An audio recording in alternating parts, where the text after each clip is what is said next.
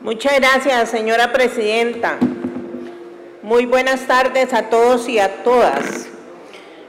Hoy se firmó en Casa Presidencial el proyecto de ley 9497, reforma al artículo 50 de la ley 7052, ley del sistema financiero para la vivienda y creación del Banco Hipotecario de la Vivienda para mejorar la atención de familias damnificadas por emergencias.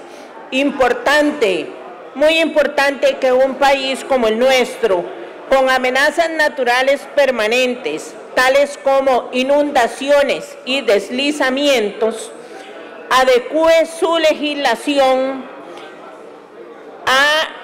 para que las instituciones estén debidamente preparadas para dar el apoyo inmediato a todas las familias afectadas por las emergencias.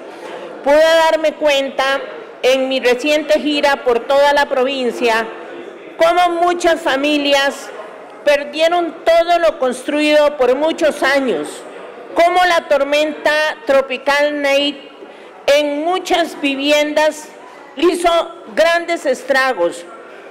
Esta ley va a permitir que muchas de estas familias que ya habían accesado al bono de vivienda y que fueran, fueron afectadas, vuelvan a accesar al bono si mantienen la misma situación económica.